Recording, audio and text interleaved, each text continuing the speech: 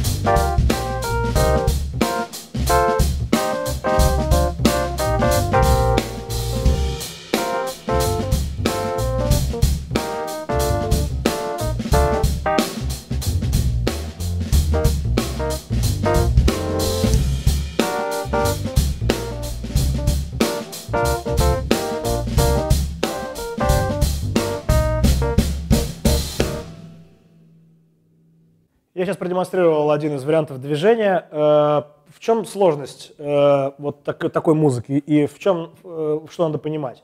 Обычно, конечно, такая музыка записывается под метроном, но суть заключается в том, что в каждой вещи, в каждой композиции есть определенное движение, которое должно быть вокруг метронома. Потому что если мы играем просто ровно в метроном, вместе с ним, то как бы никакого движения вызывающего желание танцевать, не возникает. Поэтому существует два основных принципа э, для танцевальной музыки, ну, скажем так, три основных принципа. Потому что э, э, есть музыка, которую нужно играть немножко с опережением, то есть мы играем в метроном, но чуть-чуть как бы играя вперед, как бы подталкивая его, но при этом стараясь соблюдать темп, не загоняя его. Второй принцип – это когда нам нужно создать более такое состояние расслабленная, мы должны играть немножко сзади этого самого метронома, то есть как бы немножко за ним. Э, и третье, это когда мы играем, например, музыку диска, э, более прямую музыку с прямой бочкой. Вот там как раз-таки задача играть прям ровно в метроном. И какие-то определенные э, стили, кстати, тоже в них тоже есть такая необходимость. То есть, например, когда нужно играть какой-то фанк-шаффл в поп-ключе, да, то очень важно тоже играть его, например, например очень ровно, имитируя драм-машину. Да. То есть вот и самая сложная задача – это подбирать разные инструменты, в частности, как это делает выдающийся барабанщик в этом жанре Стив Джордан. Да. Допустим, он, он берет разные барабаны, э, на какие-то вещи он берет более низкий настроенный инструмент, на какие-то более высокий. Э, в каких-то вещах он, он больше звук зажимает, в каких-то вещах он его больше разжимает, э, играет с пружиной, с настройками и, соответственно, с этим самым временем. И тогда в этой музыке появляется смысл, появляется движение. И сейчас э, вот как раз-таки то, что я играл, это было как бы специально сыграно, э, была попытка сыграть это на, немножко с опережением. То есть все время подталкивая каждую долю вперед. Э, ну, можно представить такой образ, когда вы примерно вот толкаете стенку, она, сто, она стоит, никуда не, не движется как время, но мы пытаемся ее толкать. И тогда вот в, в этом движении появляется пульс, когда мы пытаемся каждое Э, каждую вот эту четверть, каждую восьмушку, вернее, которую мы играем, мы пытаемся ее немножко толкнуть вперед, имея в виду время. А теперь я сыграю другой вариант э, грува, попытаюсь как бы сыграть немножко сзади этого э, метронома, и это будет такое более, более, более расслабленное состояние. Давай попробуем. Раз.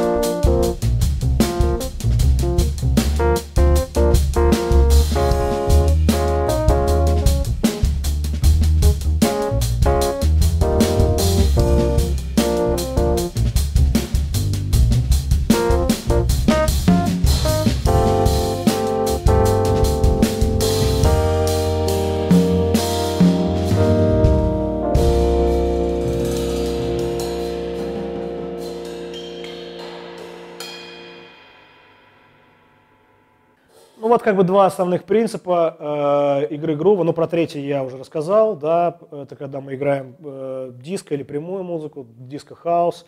Э, там, конечно, надо играть все прям ровно-ровно, стараться прямо играть ровно с метрономом, и это тоже создает определенное движение, которое э, необходимо для этого жанра.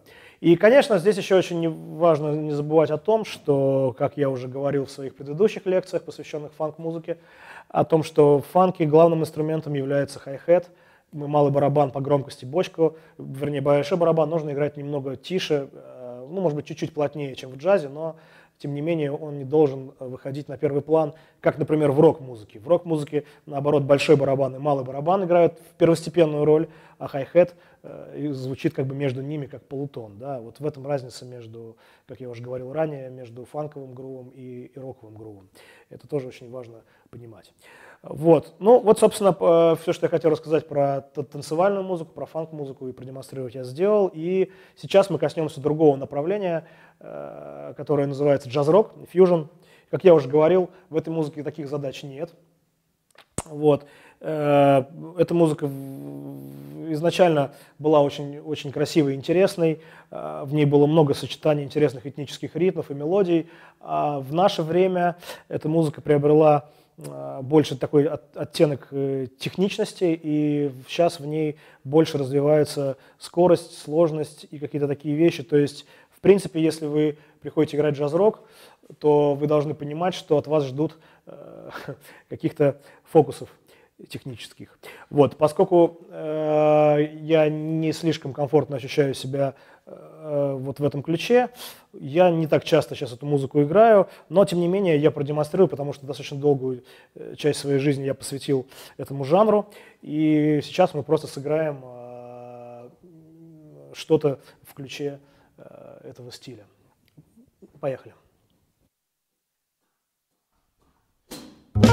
Thank you.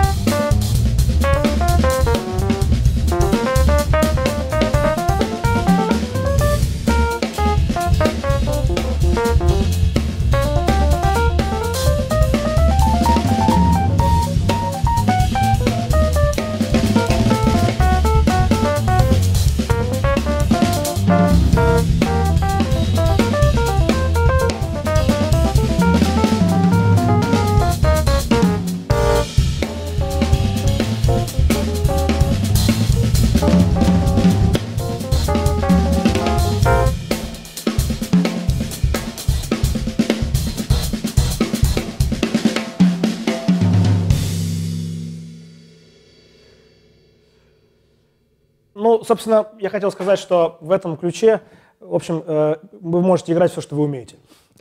Вот, потому что в этой музыке, в общем, самое главное, это, э, на мой взгляд, ну, как бы вот, а, анализируя разные записи, просто показывать все, на что вы способны. То есть если, если вы играете на инструменте, если вашей основной целью является э, нарабатывание каких-то технических э, возможностей с целью их демонстрации, то это самый лучший жанр, которые я могу вам порекомендовать для реализации, потому что здесь можно все, абсолютно. То есть, э, потому что критерий тех, тех, техничности, он как бы становится самым главным. Вот. вот насколько много и сложно вы умеете играть, тем э, более высокого уровня музыкантом в этом ключе, в этом жанре э, вы считаетесь среди партнеров. Ну вот, собственно, и все, что я хотел сказать про джаз-рок и про фанк-музыку.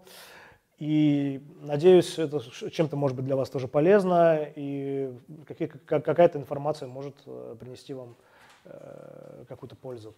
Спасибо вам большое, всего доброго, до новых встреч.